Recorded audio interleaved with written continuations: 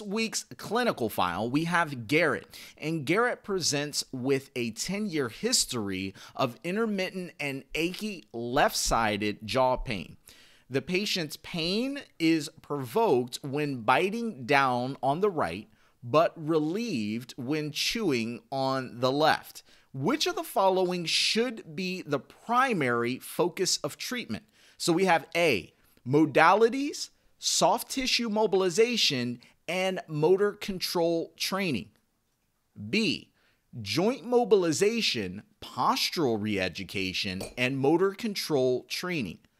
C, trigger point release, joint oscillations, and masseter stretching.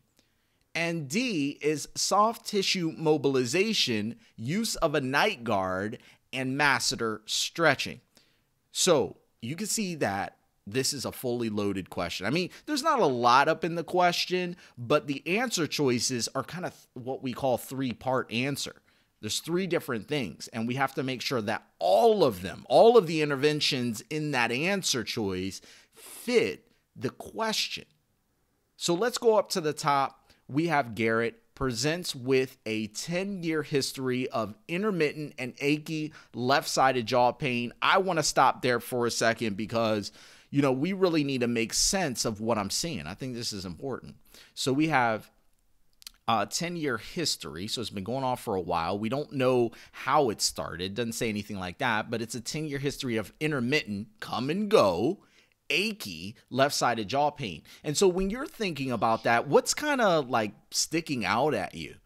You know, any type of pathologies, any type of soft tissue, bony structure, uh, anything kind of, you know, sticking out at you right now? Because when I see 10 year history of intermittent achy pain, I'm thinking, well, potentially muscle, could potentially be the joint itself. All right. One of the things that kind of sticks out at me is potentially like the actual joint itself, more like an osteoarthritis or something like that, could have achy pain that has this 10 year history. All right.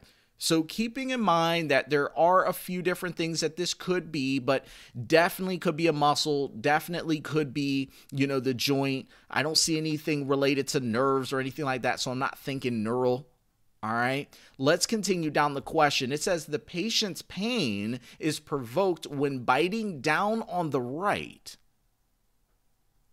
but relieved when chewing on the left. Okay, so that's important. Let's dissect that. The patient's pain is provoked when biting down on the right, but relieved when when chewing on the left. What does that mean to you? And don't get confused because a lot of people will read this type of question or read this statement and be like, oh, wait, so they got pain on the right side? No, no, no. That's not what this question's saying. They're saying that the patient's pain, the left sided jaw pain, is provoked when they bite down on the right, but relieved when they're pretty much biting down on the left is that sticking out at you? Does that mean anything to you right now? Because it should. There's actually a special test that is very similar to what I'm talking to you about right now, where you have the patient bite down on one side and you see if you can reproduce the patient's pain. It's called the bite down test. Sometimes it's called the cotton roll test as well. Are you familiar with that one? You got to put that down in your notes. That's something that we need to be very clear on. All right, now go in and I'll explain that to you more in a moment. But let's look at the last sentence of the question. It says, Which of the following should be the primary focus of treatment? So I'll read through the answer choices again and then we'll dissect each one of these answer choices. So A says modalities, soft tissue mobilization, and motor control training. B says joint mobilization, postural reeducation, motor control training. C says trigger point release, joint oscillations, and masseter stretching. And D says soft tissue mobilization, use of a night guard, and masseter stretching. All right.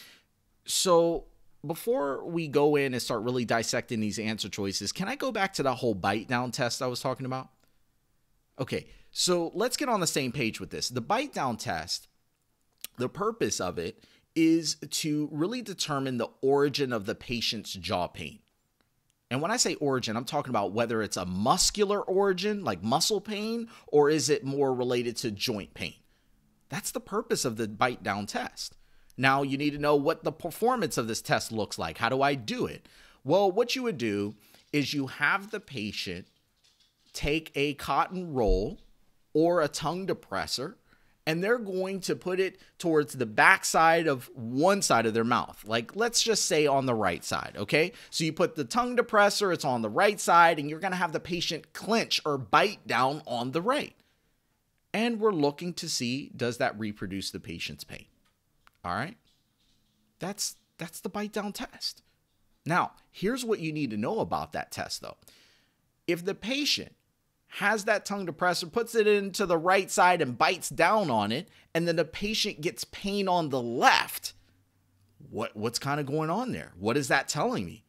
Well, it's telling me that there is a joint problem on the left. You heard me right. If you bite down on the right side and you get pain on the left, that means that you have some type of joint problem on the left side. Mm hmm. Okay. So you might be like, well, wait, hold on a minute. So if a person bites down on the right and they get pain on the left side, it's a joint problem on the left? Yes. And the reason why is the person is closing down on the left side. The joints get, the, the bones get closer together on the left and they gap on the right. So, what do I need you to write down in your notes right now? Because you need to, to definitely make sure that you know this that there's a bite down test. And when you bite down on the right side, it gaps the joint on the right, but closes down on the left. It gaps the joint on the right, but closes down on the left side. All right.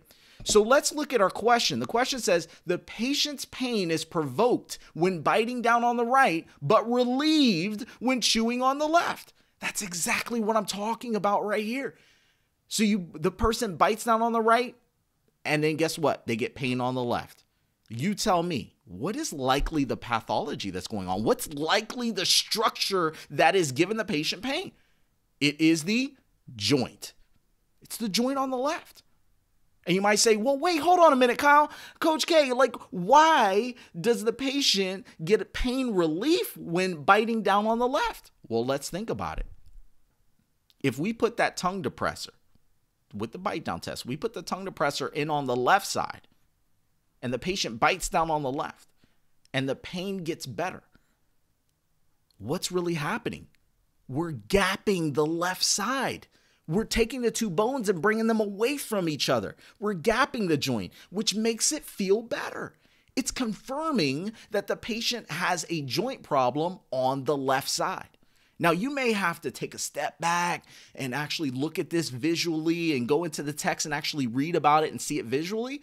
But I'm telling you right now, the principle that you need to remember is that if I bite down on the right and I get pain on the left, on the opposite side, then it is a joint problem on the opposite side. So, bottom line, what do we know right now going into our answers? That I'm dealing with a patient who has a joint problem on the left, something along the lines of an osteoarthritis, maybe just inflammation in the joint, but it is some type of joint related problem. And now I need to pick the best intervention set that is going to attack the osteoarthritis or inflammation of the joint, whatnot. Does that make sense there? All right, if you if you need a little extra, go ahead and put that down in the comment box. I'll be more than happy to kind of teach that a different way. But let's look at the answer choices. It says A, modalities, soft tissue mobilization, and motor control training. Okay, so I like the modalities, right? We can use modalities for for like an osteoarthritis or inflammation in the joint. We could use that. I mean, there's different things we could use, things like uh, ice or ultrasound. Okay, so I know that we could use modalities, but the one thing, if I'm really dealing with, let's say, an osteoarthritis, because this is a 10 year history. So this probably this isn't just some acute thing that just showed up. This has been here for a while. And so are modalities that effective for osteoarthritis? I mean, maybe it'll be a temporary fix, but long, I mean, to really have significant impact, modalities is not going to be my number one thing that I want to do with that patient. It's just not going to have lasting impact. So I don't like modalities. The next a part of that answer says soft tissue mobilization. It's like, could you do soft tissue mob? Get in there, you know, kind of either stretch out the tissue or do some deep tissue massage in that area. You could do something like that, but listen, this is a joint related problem. Going after the musculature is not going to help us here. And so I don't like soft tissue mobilization. And then the last part of that answer says motor control training. And I like that. I mean, you can, you know, train the muscles to make sure that they're opening and closing the mouth correctly so we're not tearing up the joint. I like that. But the rest of the answer, the modalities and the soft tissue mob, I'm like, ah, I don't think that's a good answer. And so what I'm going to do is I'm going to put a big X next to A. I just don't like it. I don't think it's the most effective. Let's look at B. B says joint mobilization, postural re-education, and motor control training. Let's take a look. Do I want to do joint mobilization here? I know some of you all had said, well, it didn't say anything about range of motion. So can we infer that there possibly is a range of motion problem though?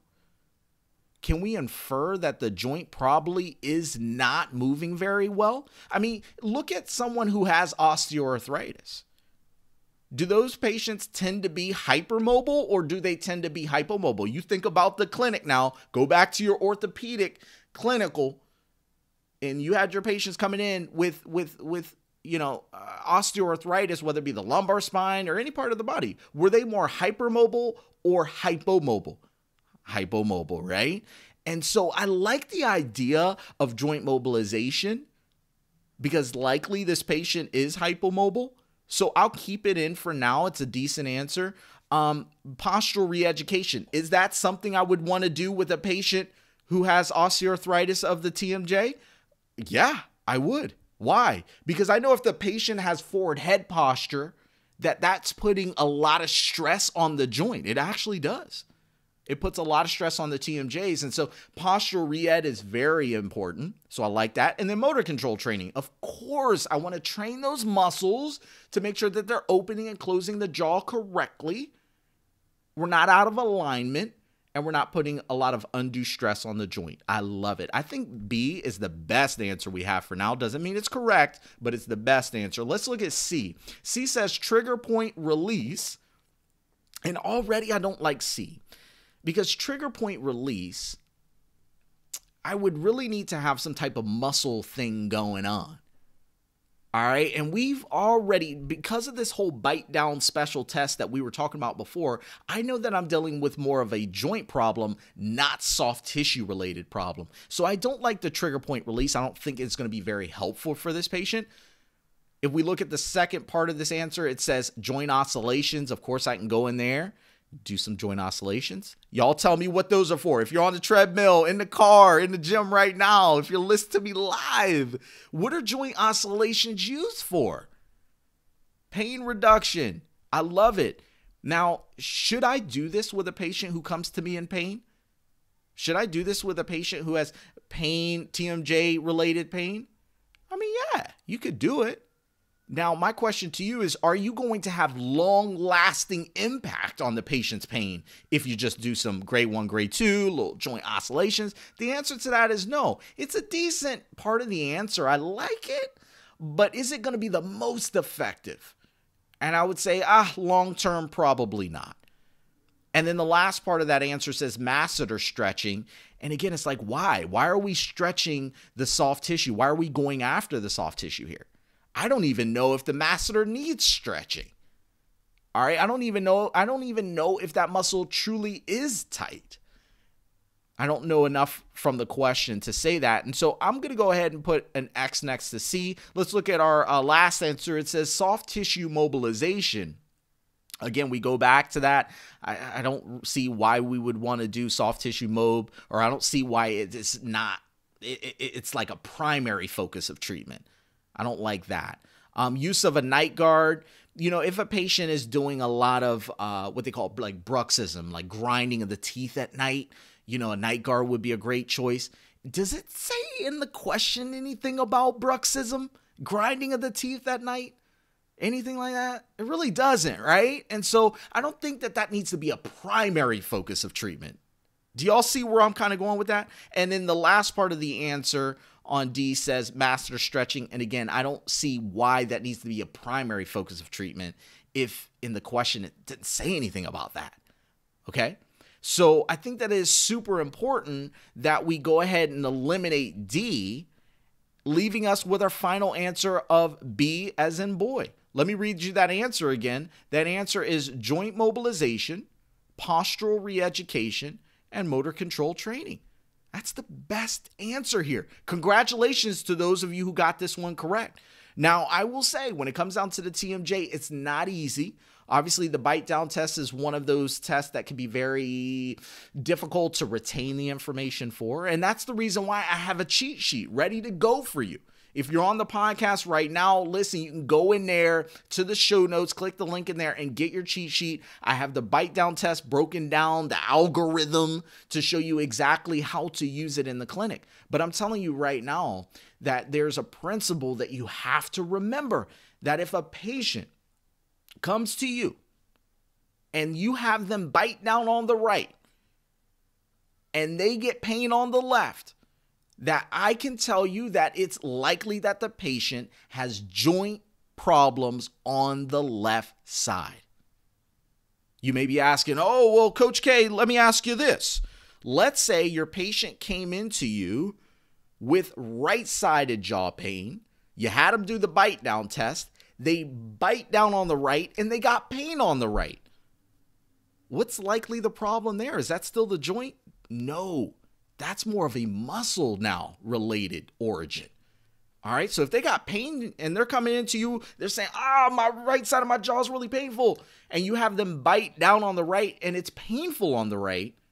That's more of a what we call myogenic pain or muscle type pain. There you go. That's how we tell the difference. And you need to be ready to do that on the NPTE when it shows up. Does this make sense? Is that clear? I mean, if you want that solidification of this concept and be able to retain it, I need you to click the link in the show notes. Get this freaking cheat sheet. It'll help you to solidify this idea.